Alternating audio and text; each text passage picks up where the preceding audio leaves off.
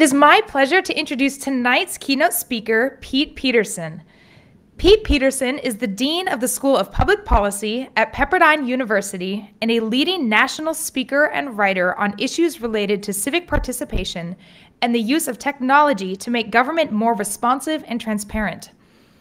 He was the first executive director of the bipartisan organization Common Sense California, which in 2010 joined with the Davenport Institute at the School of Public Policy to become the Davenport Institute for Public Engagement and Civic Leadership. Peterson has co created and currently co facilitates the training seminar Public Engagement The Vital Leadership Skill in Difficult Times, and he also co created and co facilitates the seminar Government 2.0 What Public Officials Need to Know, which explores the ways in which technology is changing local government processes. In 2017, the School of Public Policy launched a new initiative titled The American Project on the Future of Conservatism, which is co directed by Dean Peterson. The project is a unique effort to gather scholars and activists from a variety of points on the conservative spectrum to deliberate, to deliberate over, write about, and discuss the future of the conservative movement. Peterson writes widely on public engagement for a variety of major news sources, including the Wall Street Journal, Los Angeles Times, and San Francisco Chronicle, as well as numerous blogs. He is a regular guest on the Politics Roundtable with host Larry Mantle on KPCC Radio. Pete has been a public affairs fellow at the Hoover Institution, and he serves on the leadership councils of the Public Policy Institute of California and California Forward, and on the boards of the Homeland Security Advisory Council and the Da Vinci Charter Schools. Peterson was a Republican candidate for California's Secretary of State in 2014, and we are very happy to welcome him to the Reagan Ranch Center tonight. Please join me in welcoming Dean Peterson.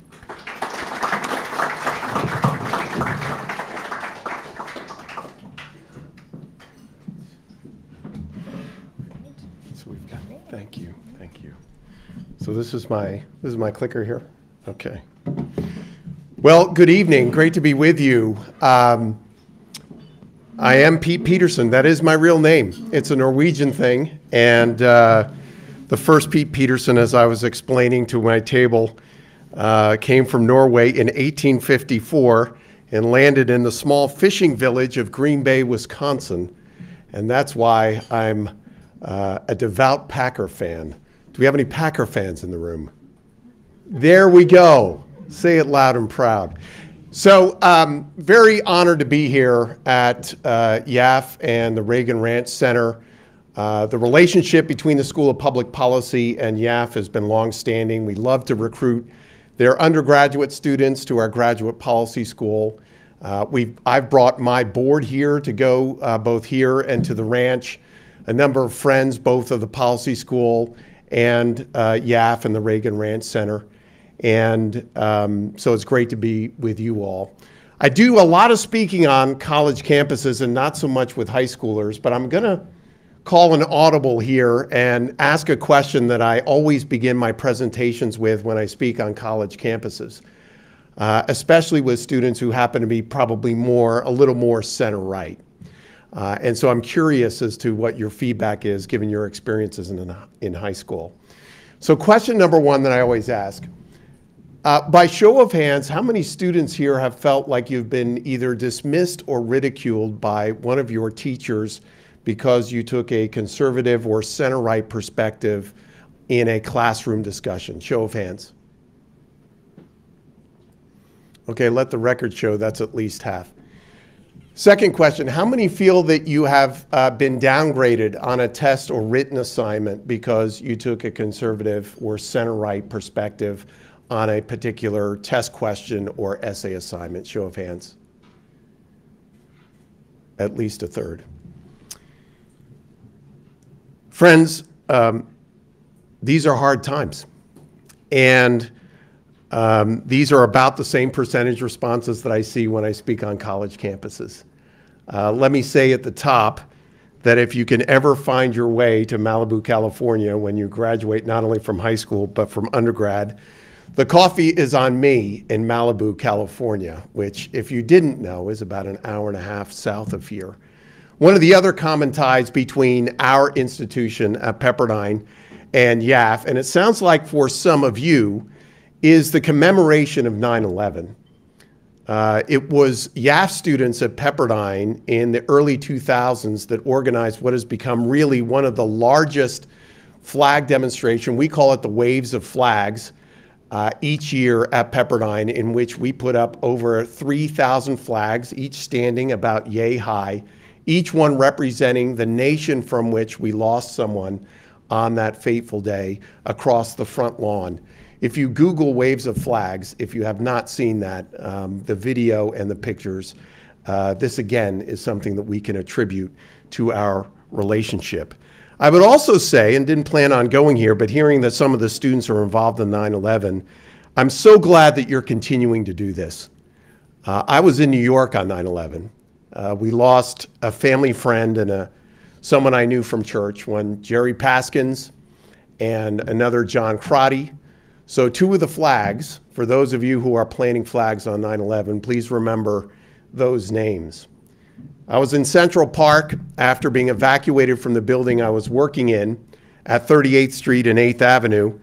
And as I stood in the middle of Central Park at around 2 o'clock that afternoon, I stared down at the pillar of smoke coming out of what used to be the Twin Towers. And I knew then, in ways that are difficult to describe, that the world was changing. And not only was the world changing, but I was changing. Uh, I had worked in marketing and advertising for the better part of 15 years when 9 11 happened. But it was that day that made me think uh, that I need to be doing something different with my life. It's not as if I didn't enjoy my job, it's not as if I didn't enjoy the work I was doing. But when 9 11 happened, it really spoke to me in a way that, as a person of faith, and I love the way uh, that my friend Andrew put it, I began to search and understand the meaning of calling on my life. Uh, what that sent me to was an understanding that I had a calling to politics and policy. if you had asked me on 9 11 in Central Park what Pepperdine was, much less where it was, I wouldn't have been able to tell you. As a kid growing up in Jersey, there was no way I had any idea what Pepperdine was. Um, but through a search and an exploration of calling it in my own life, it led me to a place where uh, my life was changed, uh, which was the School of Public Policy, where I came to about 17 years ago. So if you take nothing else away from this talk, and this talk has nothing to do with calling, by the way, if you take nothing else from this talk, I would only ask that you take this time in your life very seriously.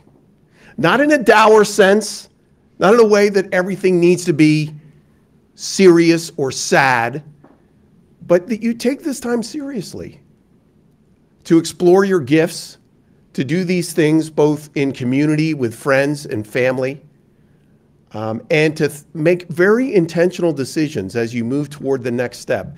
I know how much pressure some of you feel, especially if we have any high school seniors in this room.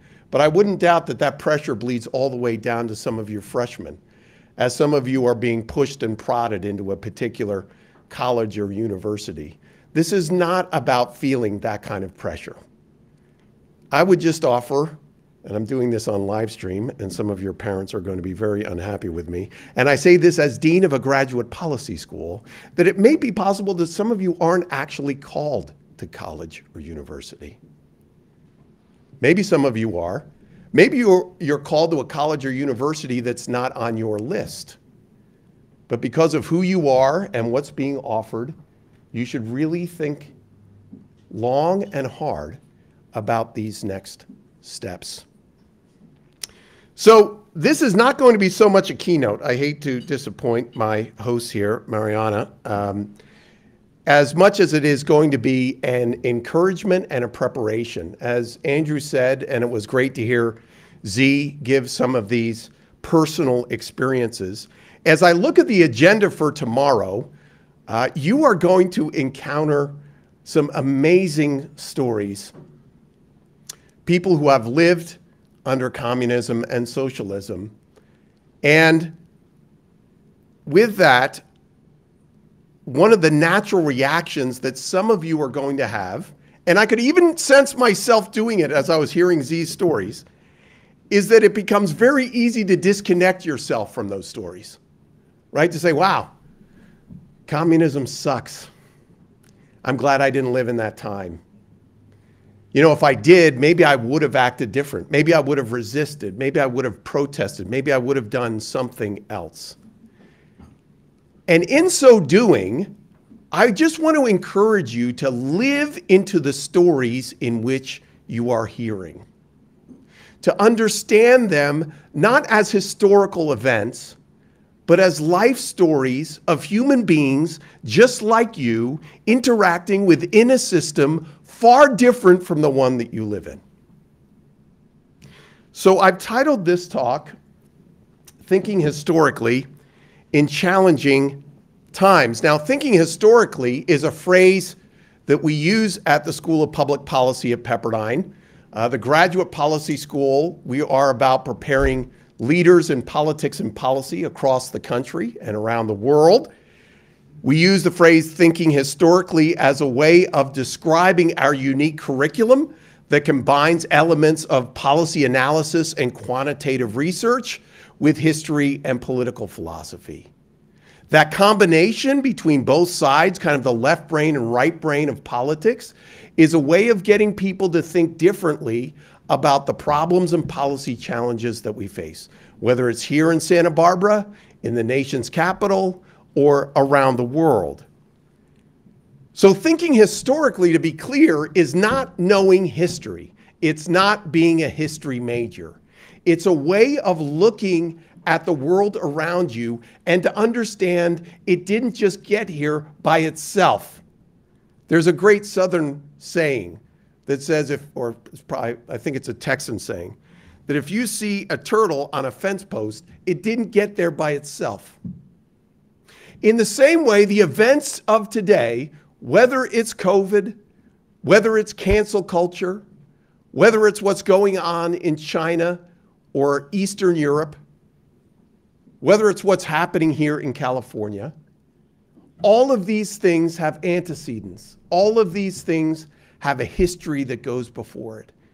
And thinking historically as you approach these issues is an important way to understand and to think about not only how things got to this place, but very possibly where things might be going. Now, what's so important about this perspective is that for many of you in your generation, the study and analysis of socialism is about an inch deep. As we look at some of the data that I've uncovered about your generation, known variously as Gen Z. Some of these data points won't surprise you, certainly given the show of hands that I saw earlier, but it's worth just putting out there a few of these data points. The first from Gallup in 2018, over half of 18 to 29 year olds view socialism positively. Just last year, the Victims of Communism organization, a great group that is launched in Washington, D.C., did a survey of Gen Z to find that 74% do not see Marxism as a, quote, totalitarian state that suppresses the freedom of its citizens. And finally, this bullet point from Vice magazine doing a survey of Gen Z last year found that 57% of Gen Z see socialism as a solution, quote, to combat violence against marginalized peoples. Now, as we've just heard from Z, what socialism actually means is actually none of these things. But even the writers for Vice magazine in this piece understand that the general understanding by many in your generation of what socialism actually was and what socialism actually is is wildly divergent uh, from both its history and reality. This quotation I pulled from that same article. Socialism may boil down to a mood or a structure of feeling rather than a politics to adopt wholesale for members of Gen Z Though they might hold inconsistent positions, as many of us do, Zoomers, Gen Z, grasp the core essence of socialism and are finding that it provides them with an intuitive way of making sense of the world. Viewed in this light, a 15 year old who is skeptical of Marx and Sanders but identifies with the socialist label isn't necessarily evidence of the ideology's dilution. Instead, she might be proof that socialism has become synonymous with a love of justice and a desire for positive social change. Now, again, it's anybody have friends, by the way, who have this kind of perspective on socialism, right? That somehow just in the name socialism, you know, it's social. Social is good. Capitalism is money. Money is greed. Greed is bad. It's a very simple tautology, moves ahead very simply. But socialism, again, as we are, as you all understand and will gain new insights into uh, tomorrow, is really something wholly other. And it requires no historical awareness to hold positions like this. So, as you enter into the day tomorrow and throughout the panels, thinking historically is a way of not only moving into the stories of the people that you will hear, but finding ways to apply that history in ways that are not only relevant to what happened, but may be relevant to what is and what is coming. Another way of describing thinking historically was done by Niall Ferguson, the Stanford and Harvard historian, works at the Hoover Institution. We've had uh, Niall speak uh, for the School of Public Policy on a couple of occasions. And again, he uses the term applied history as a way of understanding how we connect history, not simply as a set of events that happened 40 or 50 years ago, but why they're relevant to today and what it might tell us about the future. This is how Niall describes applied history. Applied history is the explicit attempt to illuminate current challenges and choices by analyzing historical precedents and analogs. Mainstream historians begin with a past event or an era and attempt to provide an account of what happened and why. Applied historians begin with a current choice or predicament, stimulate imagination, find clues, clues about what is likely to happen, suggest possible policy interventions, and assess possible consequences. Now, Ferguson's recent book is called Doom, which is a great book. And one of the things that he cites there is many of the ways in which the both American government and other national governments are responding to the COVID crisis betray a certain ignorance of history and how other societies have dealt with pandemics over the past centuries. What Ferguson lays out that even in something that seems very pressing and modern as COVID 19, that by studying history and knowing how other governments and societies have responded in a way that maintained a sense of freedom, while still attacking a dreaded disease. Those, what he calls analogs and precedents, really should have been better applied by today's public leaders. Now, there are a couple challenges to thinking historically. One I've just laid out there is that when you hear the stories that you're going to hear tomorrow and the one that you the ones that you just heard from Z here, it's going to feel very easy to want to separate yourself to disconnect yourself from those stories, to say that and appreciate possibly that you didn't live in that time, but to say that that story really has nothing to do with me. And in that, there are really two types of channels, uh, challenges, what I call internal and environmental challenges to thinking historically. The first two are civic virtues one is humility, and the other is prudence. To think historically is to be humble in the face of events that you didn't live in and to understand that even if you believe you would have acted differently in light of these challenges, to understand that people were really doing the best they could because they were human beings just like you. Yes, they grew up in very different times and possibly very different cultures. But understanding and looking back at history and disconnecting your, yourself from that requires that you overcome that feeling through a sense and the virtue of humility.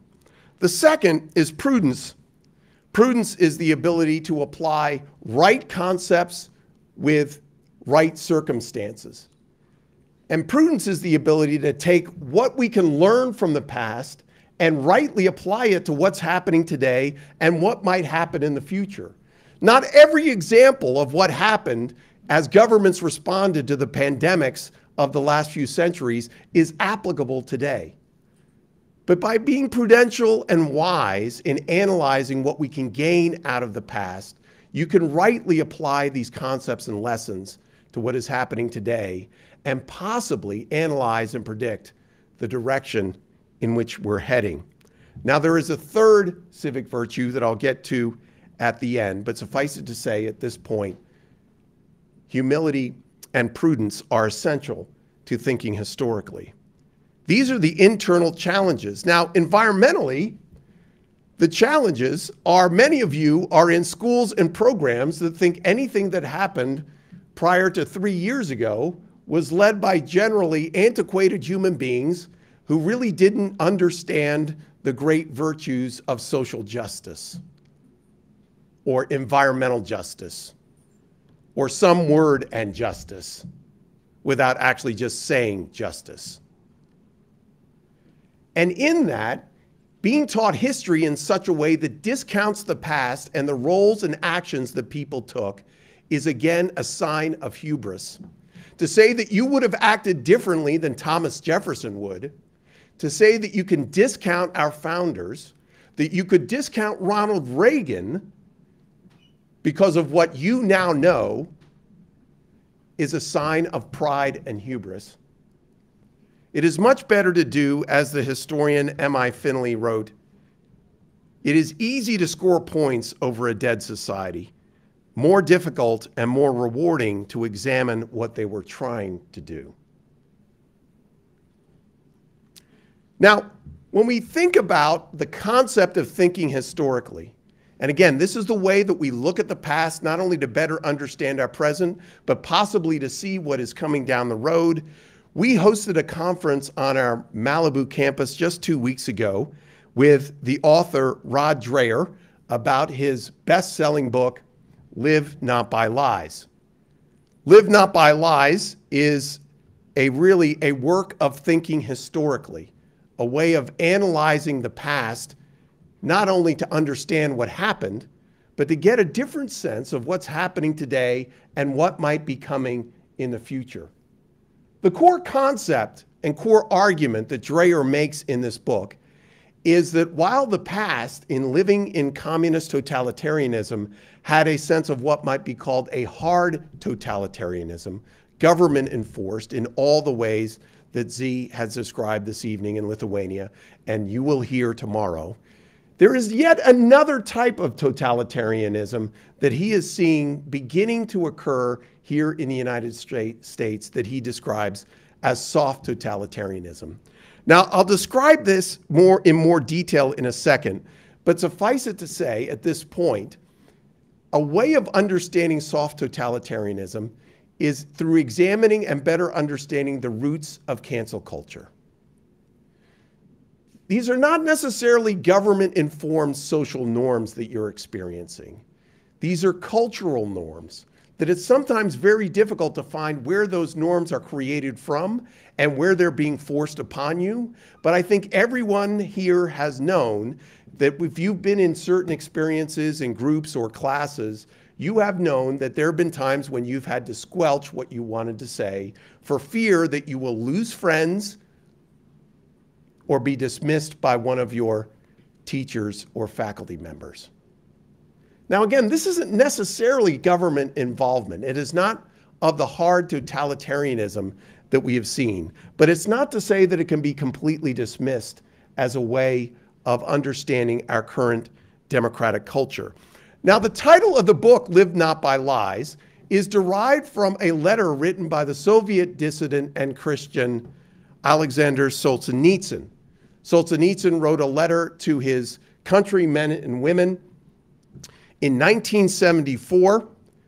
Solzhenitsyn had been a dissident who had suffered torture and imprisonment in the Soviet Union for his beliefs and critiques of the uh, state. And in 1974, on the day that he was exiled from the Soviet Union, he wrote this letter to his fellow Soviet citizens. I wanted to uh, quote a couple pieces from it. The letter is short, it's only a couple pages, and for those of you who haven't read it, I strongly recommend that you do so. But I wanted to begin with this one quotation. We are approaching the brink. Already a universal spiritual demise is upon us. A physical one is about to flare up and engulf us and our children. While we continue to smile sheepishly and babble, but what can we do to stop it? We haven't the strength.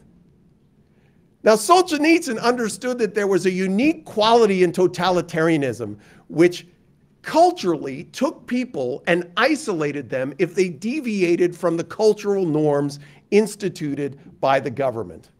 And so it was very easy to think as an individual that maybe I'm the only person that thinks this way. And I know one thing if I step out of line, there are going to be penalties. Now, in the Soviet Union, those penalties were severe.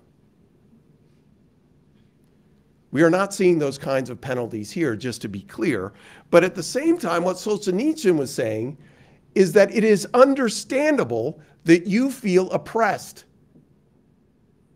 But what he was going to call his fellow citizens to is to take baby steps of resistance.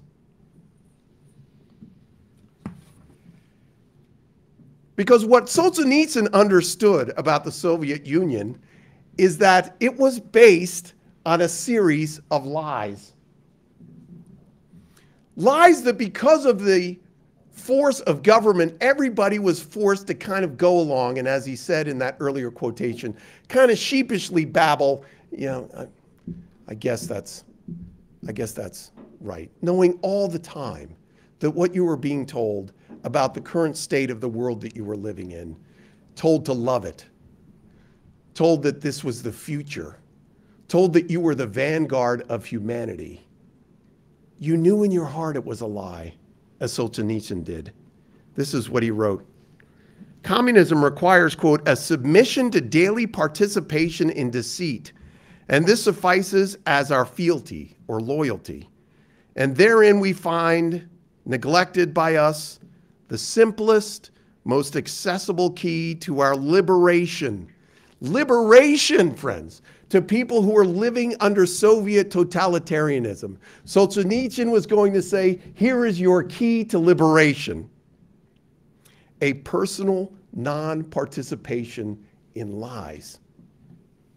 Now, what he lays out later in the letter are a series of bullet points, around seven or eight of them, different ways, and we've heard one from Z already. We were not going to participate in the May Day celebration.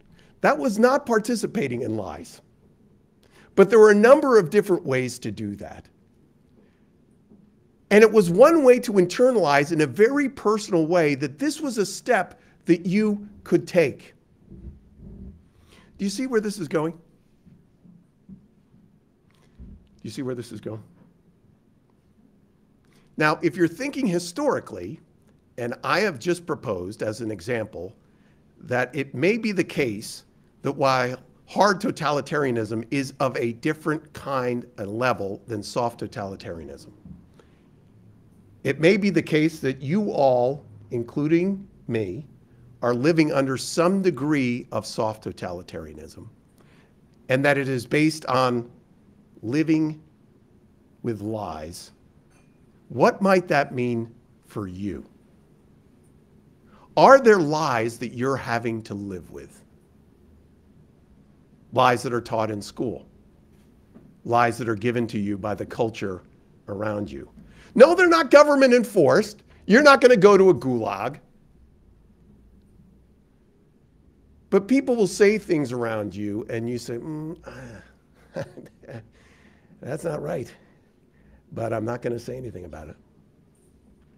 This is what Solzhenitsyn was saying to people who had a lot more to lose. But it was the one step each individual could take.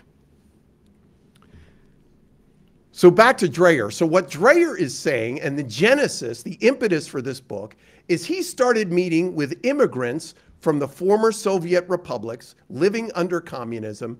And as they were watching what was going on in the United States, they were beginning to see facts and events that were resonating. They were, to borrow a phrase, triggering in them thoughts that they had not experienced since they lived under the hard totalitarianism. To borrow another quotation from the book. What makes the emerging situation in the West similar to what they faced? After all, every society has rules and taboos and mechanisms to enforce them. What unnerves those who lived under Soviet communism is this similarity elites and elite institutions. And let's be clear, we are talking about schools, Hollywood, and culture makers are abandoning old fashioned liberalism based on defending the rights of the individual and replacing it with a progressive creed that regards justice in terms of groups. It encourages people to identify with groups, ethnic, sexual, and otherwise, and to think of good and evil as a matter of power dynamics within those groups. So, what Dreher was beginning to see, and again, hearing this directly from people like the ones that you'll hear from tomorrow, is that things were happening in the culture, especially around, again, what could be called variously cancel culture, that were triggering them in the same kind of thoughts that they had living under hard totalitarianism. Now, the reason I asked the question that I did at the beginning, the two questions, was that in, in a certain sense, if you are being critiqued, if you don't feel free to speak your mind, to do so in a civil way, to do so grounded in things that you've read or understood, not to pop off like a jerk. But if you have a case to make that is still being critiqued and dismissed by teachers, you have a decision to make. That decision is, well, I'll just go along and write whatever the teacher says because I need to get an A because I need to go to Harvard. Let me just say, you do not need to go to Harvard. I'm not kidding. I'm not kidding. Recent survey by the Harvard Crimson newspaper in June of this year found that in a survey of Harvard faculty, less than 3% describe themselves as conservative or very conservative. 3%. You think you're getting a lot of freedom of speech in Cambridge, Massachusetts? Now, again, you got to work these things out with your parents. But again, as we go back to this subject of calling and what you're thinking about your own future, do so with your eyes wide open. I'm not saying there aren't great conservatives on that campus but they're having to deal with battles there um, that frankly they shouldn't have to deal with.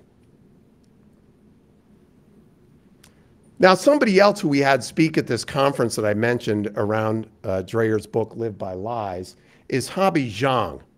Habi is a graduate of the School of Public Policy. I think it's fair to say she would say her life was changed by the experience.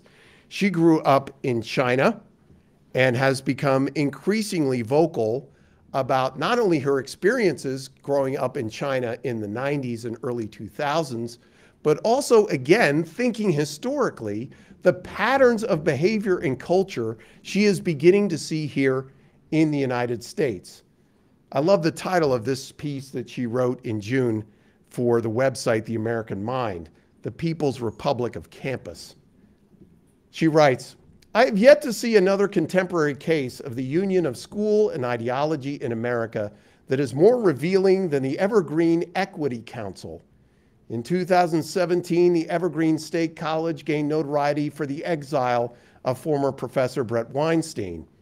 The origins of Weinstein's exile started in 2015 when the school initiated the Evergreen Equity Council, a set of yet to be tested conjectures drafted by a group of so called anti racist educators was presented as a list of consecrated tenets in one of the council meetings. And she goes on to describe that many of these anti racist sessions that she has learned about happening on college campuses and even some high school campuses remind her of some of the Maoist training sessions that she endured as a student growing up in, in high school in China. Now, again, you can agree or disagree with the proposal that there is something to learn historically from the lessons that you'll hear tomorrow and the lessons that Habi is discussing here from her own experiences.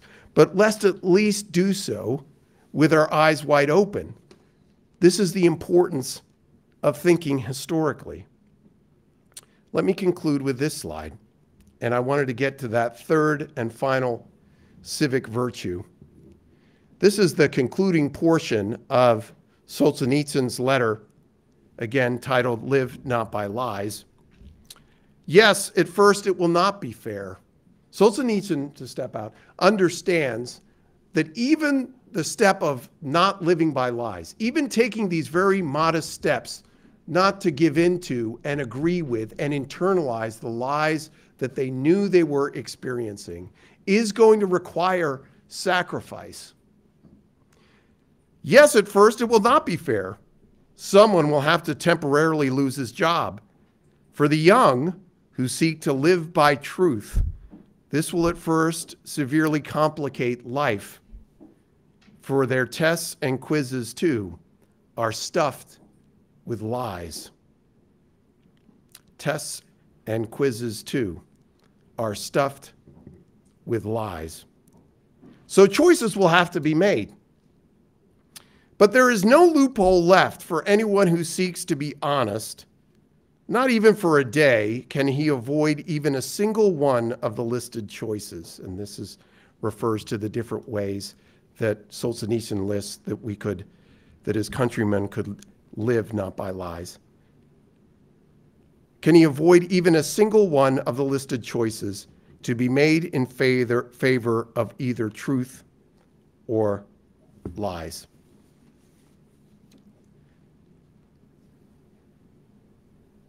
So tomorrow you're going to hear some hard stories. I've seen George's presentation before. The pictures that you are going to see are going to be extremely disturbing. Trigger warning. But they were not created on some Hollywood soundstage. These were not created in some sort of design program. This is a reality of what happened what people just like us, people just like you, human beings, individuals, had to endure. But I really do hope and pray that you don't stop there. Please do this just for tomorrow. Let the lessons come to you and enter into those stories. Just be in those stories. Don't be where you're going back to. Don't be with the test you have to return. Don't be with that thinking about, wow, that guy's kind of cute. Don't be in those places. Be in the stories. And at the end of the day, don't think about this as a history that's past. At least entertain the thought that there are those who've gone before us that had to be extremely courageous to live by the truth it's fair if you don't want to get into this. Boy, that soft totalitarian stuff is, that's pretty hardcore. I'm not sure if I'm ready to go there. Okay, don't. But just deal with this subject. Are there lies that you're dealing with? Now, Solzhenitsyn said, choices will have to be made. It may not be the right choice to respond to your teacher who says something that is an out and out lie. It might not be the right case to respond to a classmate or even a parent or friend who says something that is an out and out lie. But this much I believe. I believe we're entering a time where the watchword for this generation, the watchword for your generation, will be courage. And it may not be storming some battlefield. It may just be standing up for the truth. And so, my prayer for you is that in your own lives, in your exploring and understanding of history and why it's relevant to today and maybe to our future, and to consider your own calling upon your own life, that you would live by the truth. Thanks.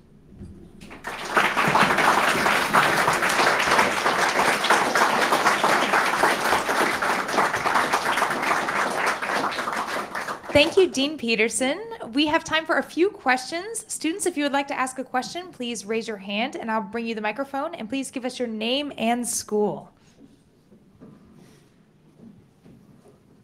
Uh, hello, I'm uh, Avi Williams from um, San Ynez High School. Uh, I recently applied to Pepperdine. Um, is there a good, like, conservative Christian presence on the campus? Uh, yes, there is. I, I um, I'm obviously at the graduate school, um, but I have a lot of friends at Seaver College, which is the undergraduate program. Um, I think it's fair to say that um, the policy school uh, is the organization or institution on campus that focuses most on the principles that Ronald Reagan held dear. Um, but there definitely uh, is a significant and serious Christian commitment there.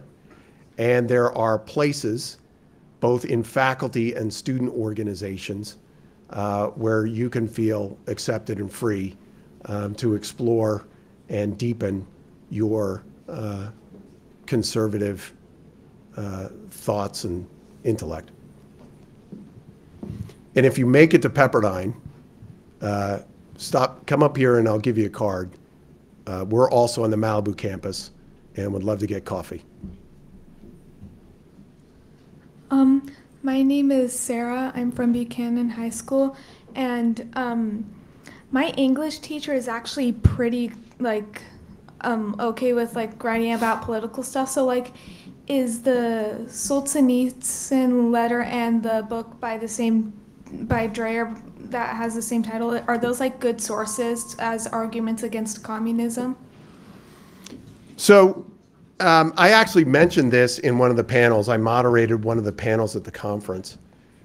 Um, you all are so fortunate. I know that it took some sacrifices to be here. It also took some sacrifices for others to get you here, just to be clear about that.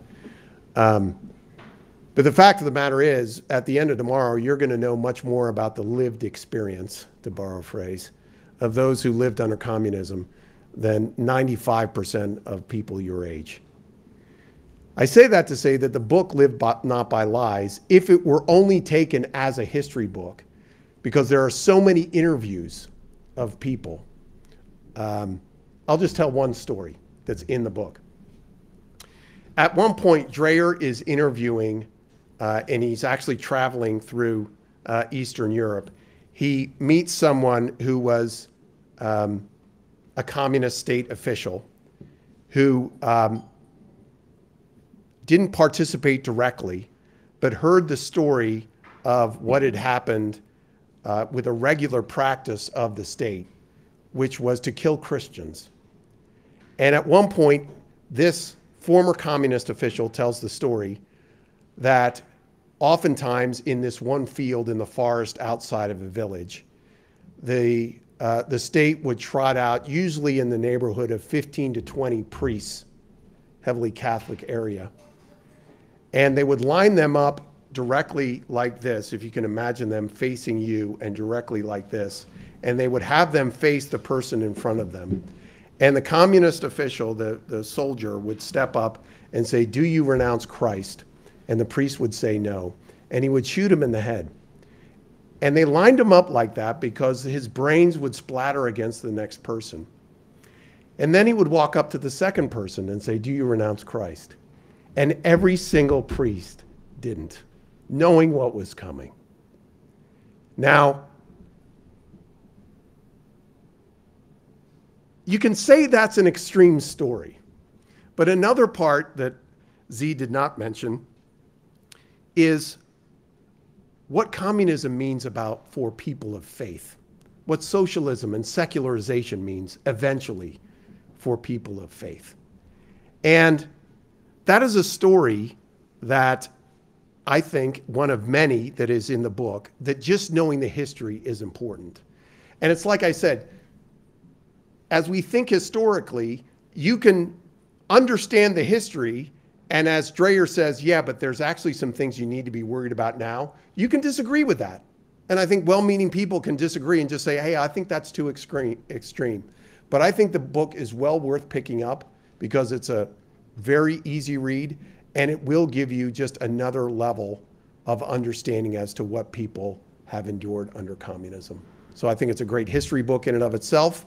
And to the degree you take it as an applied history book, that's up to you.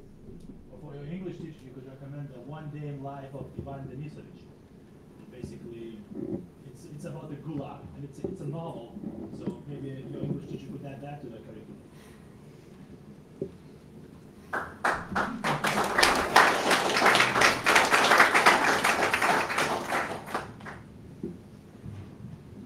You have time for another question? Anyone? I actually have one that I'd love to close us out with. So I've heard a few speakers in the past talk about, um, you know, the challenges of fighting, you know, leftism and liberal bias, especially in higher education. And I've heard some differing perspectives on how students should handle that. Some say that you should just go along to get the degree and then get out there and change the world. There's a little aspect of you have to get where you're going in order to have real influence. Uh, to actually change the world, the country for the better, and to introduce conservative ideas. And then there are other people uh, who think that you should fight for conservatism all the way and make your voice heard. You know, don't just say what the teacher wants to hear to, to get the grade. Uh, what would be your response to that, and how would you encourage students to deal with this issue? Well, the first thing I would do is to understand how much work is required, especially when you're thinking about the possibility of going to college or university. This gentleman here who may be going to Pepperdine you really have to be intentional about that decision. And if it starts and stops with how good the football team is, that's a bad place to start. If it starts and stops with how beautiful the campus is, or I hear they have a nice art program, again, not enough. For those of you who are interested in careers in politi- policy and politics, for those of you who want to be able to express yourself as a conservative, it's worth doing a deeper dive to say, are there departments, are there professors, are there conservative organizations on campus or faith-based organizations, if you're a person of faith, that you can find your way into? And that will take actually getting on the ground to speak with current students, to find current faculty members. If there's a YAF chapter on that campus, you should be asking those questions first. And if you have a conversation with a student that's running the YAF chapter at USC, and that person says, You want to be an economics major? This is not the school for you. Then you, and I'm not saying that's, re, I'm just saying that as a hypothetical. You really need to make decisions for yourself. But do it with your eyes open and ask the kind of questions that this gentleman is asking in the back, because it's a lot more than what you see on the website. Your day to day is going to look like what your classroom experiences are going to be and your classmates and the general campus environment. And again, know yourself. There are people that look at Harvard, understand that 97% of their faculty are left or far left, and say, I'm up for that challenge. They can bring it. And besides, I'm going to go into the natural sciences anyway. And so, actually, the natural sciences is probably the least biased area of academia. Um, you know, nobody really cares if you're a Marxist physicist because kind of physics is physics, right? And so, um, thinking about what you're willing to deal with, but also really getting an understanding of what that campus environment is at a deeper level than I think most students do. Thanks.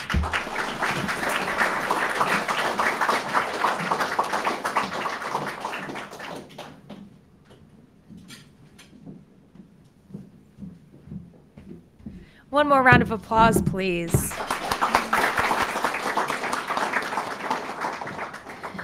This brings us to the conclusion of tonight's opening dinner banquet. Uh, we have a full schedule tomorrow, so we want to make sure that our students are well rested. But before we head on over to the hotels, uh, we're actually going to head just across the hall to watch a short film called Still Point in a Turning World. Young America's Foundation presents this award winning film by director Stephen K. Bannon, Still Point in a Turning World, the definitive examination of Ronald Reagan's beloved ranch and its personification of his philosophy and values. Of course, some of you got to visit the ranch today, others have visited in the past, and some have yet to make it to the Reagan Ranch. This is a really awesome introduction to Young America's Foundation, our connection to President Reagan, and why the ranch is such a special place. Ronald Reagan's Rancho del Cielo, the ranch in the sky, was not just a respite from the chaos that his presidency encountered, but also a living embodiment of the values he held dear, where hard work and self reliance showed themselves in the principles he championed for all Americans freedom, prosperity, and victory. While this film is only about 20 minutes long, it never fails to make me well up and swell with patriotism. And I'm sure that it will have the same effect upon you. So, with that, students, uh, if you wouldn't mind, please standing up and heading right across the hall to the theater. Thank you.